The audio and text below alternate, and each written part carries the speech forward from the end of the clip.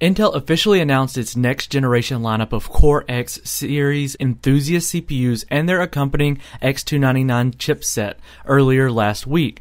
The company's branded the new high-end desktop platform to include a wide array of CPU SKUs from quad-core Kaby Lake X parts to an 18-core 36-thread Xeon-derived flagship monster of a chip. The new lineup in its entirety would be compatible with the company's new LGA 2066 socket and X299 chipset to somewhat simplify things, but for the first time we'll see a simultaneous launch of two different architectures on the same socket from both Kaby Lake and Skylake. The Kaby Lake X setup will be based from the same quad core silicon that's already been available in the LGA 1151 socket since last year and will only really offer a slightly higher clock speeds. The Skylake X parts are where things get a bit more interesting. Splitting lanes limits the i7 to 28 lanes, meaning that you'll need to go up to the i9 range if you want the full 44 PCI Express lanes. Now Skylake X doesn't really stop there. It looks like Intel will be leveraging two different CPU dies for this line lineup as well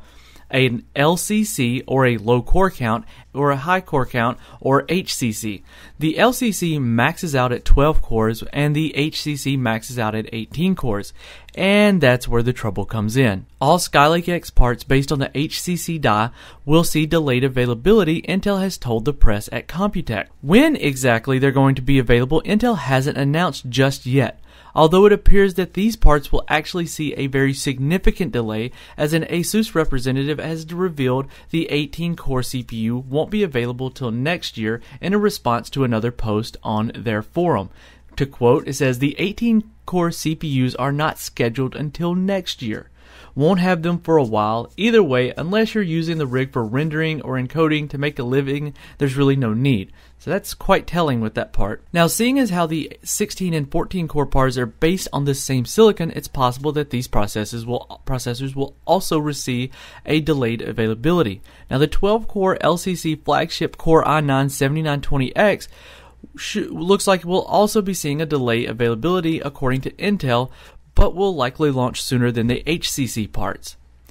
Unfortunately for Intel, the delayed availability of HCC parts leaves a sizable gap for AMD to take advantage of with their new Threadripper and X399 platform.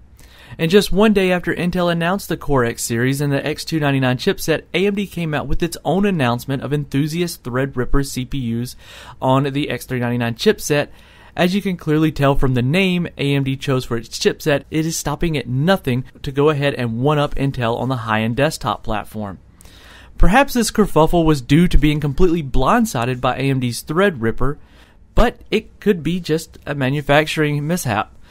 I guess we'll have to wait to see how things shake out after the two chip giants have released all of their CPUs for this generation. This has been Keith with WCCF Tech TV. Stay tuned here for more information, and for a more in depth look at all of this, feel free to hit the link in the description for the full article. And thank you for watching.